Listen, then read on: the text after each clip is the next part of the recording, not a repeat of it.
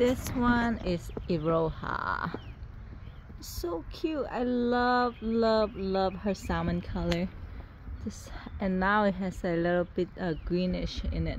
And one stem her thorn is not that bad. Look at that. And she's very healthy. It doesn't have any black spot or or rust and one stem could have that many bloom right here. So pretty. Her size is very small right now. So we'll see when she get more mature. I planted her last year and she giving me blooms here and there and she repeats okay. We'll, we'll monitor this year and see how how well she repeats. But so far i just love her bloom. So pretty.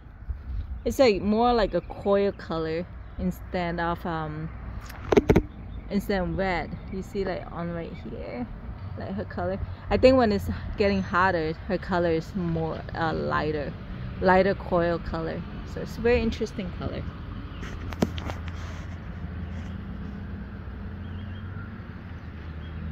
Iroha.